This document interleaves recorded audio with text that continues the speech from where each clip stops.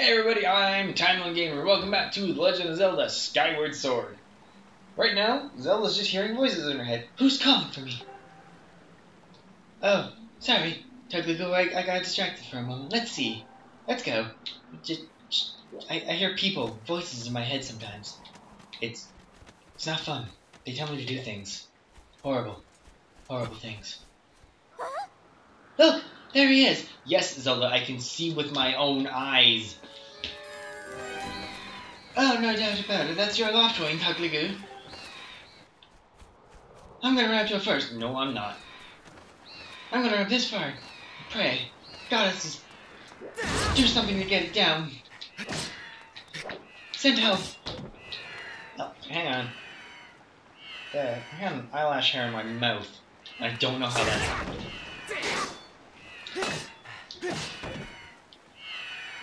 Come on, birdie. That's gross. I don't know where that came from. Come, bird. Spread your wings. Gracefully fly upon the skies. Soar like the crimson bird you are, like the sky ablaze. Burn the clouds. Show them why you're called crimson. Rocket through the sky. I just, mm, mm. I, would love to fly.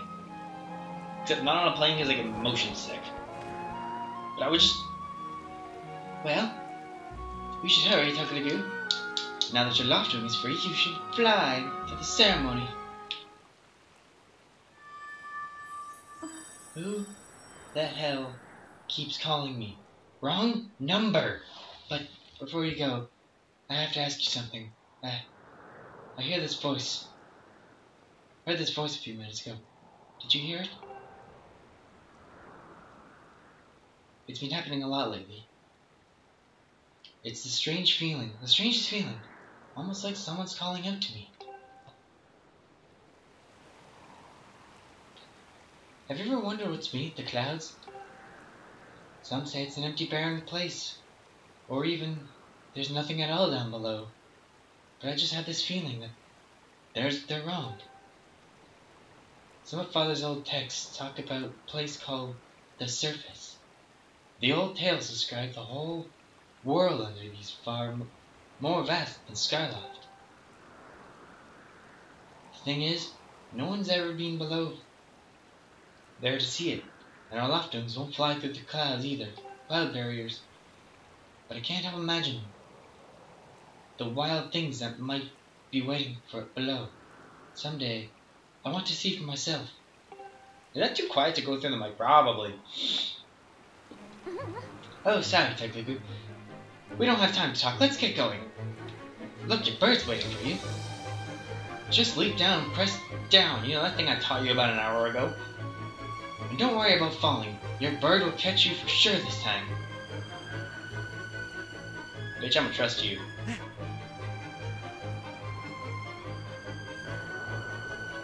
Alright, ready? Come, birdie!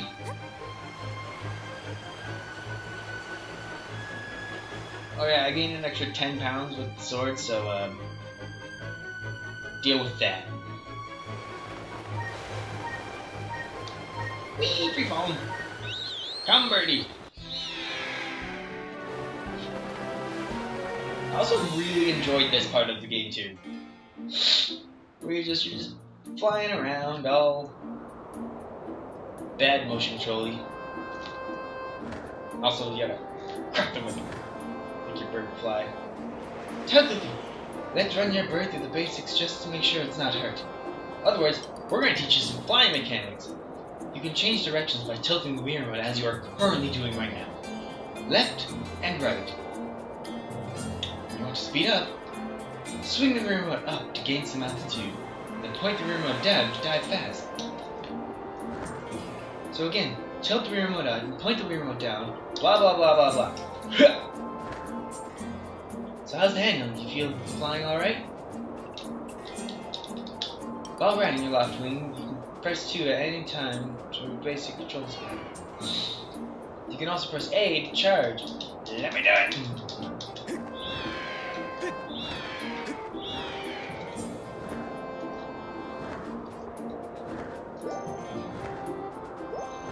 See Where did Zelda go?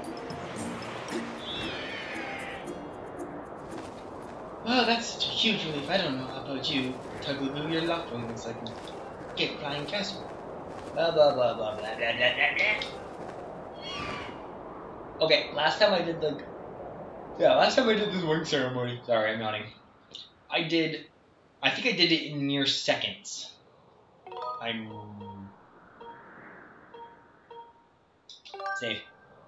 I'm not trying to boast or anything, but I like I I just I was really fast. I was really amazed. I'm never gonna be able to do that again.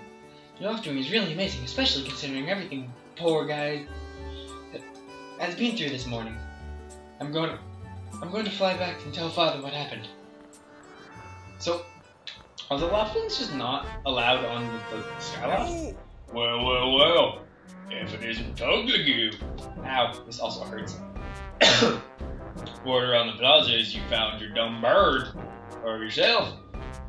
Well, that's just great because you and your dumb bird can't tell time. Well, uh, press warm ups and me guys did, well, there's nothing. To shut up.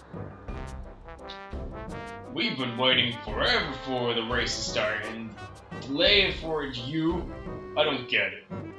Big fake gets a special treatment. You're almost a man. You're almost a man, and yet you still can't see to go anywhere without Zelda. I mean, yeah. You? No. So shut up.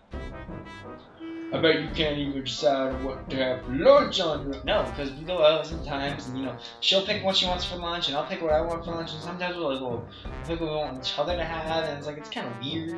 It's it's a cute thing. You know. We go for lunch sometimes, like, oh, can we get the special? Can we get this and we'll share it. So yeah, sometimes we pick fried chicken. Shut up! Ow! I just lost my voice. Shut up. And you don't think we have noticed the smug look? Oh, Zelda and I are best friends. I never said that. I never once said that. We're, we go everywhere together. I never said that either. Because I don't talk. Oh. Also, yeah, we're childhood friends. We go places. That's You and your friends go places. You don't see me complaining. Do you think you're pretty savvy? Do you? Well, do you? there's has been going on forever about how he's gonna be the one to be with Zelda. And he's really got this um, word of ruffle about a brother. Under, under, I had to break it to you, but days, the day I bust up this adorable little fantasy land you're living in, Zelda's playing the role of the goddess today. Alright, that's not even right. The, the, um... Whatever. When I hear she made it herself, man! No way I was gonna let some scrawny clown snatch the prize from me. Oh yes, that skiff, skiff, sailcloth will be mine. Menacing laugh. Oh man, I bet she would no, man, I bet she was talking to me and she was snitching. Yep. I can see it now. First I win the big race, and then Zelda and I finished the ceremony together in statue, and just two of us. Know, every special moment alone, nobody stopping me and Zelda from having a moment, or just real, like, I can't, I can see it. oh yeah. Screws, screws! Behind you! Right behind you! Dumb shit! What? Can't you two see I'm in the middle of a, um... Well... I'm in trouble. Care to explain just what you mean by our special moment alone? uh, um, nothing big really, I just, just uh, Doug Lagoon, yeah, I was just telling my buddy here how glad I was he found his the red birds of you know, boy am I looking forward to this race. Our race. Anyhow, later Zelda, look for me during the race, I'll be the one pulling off all the dangerous moves. You're such a dumb Link's like, I fucking hate that guy. Goose! Wow, I went a little bit overboard. Alright, I'll see you guys on the next episode of uh, Timeline Gamers Skyward Sword.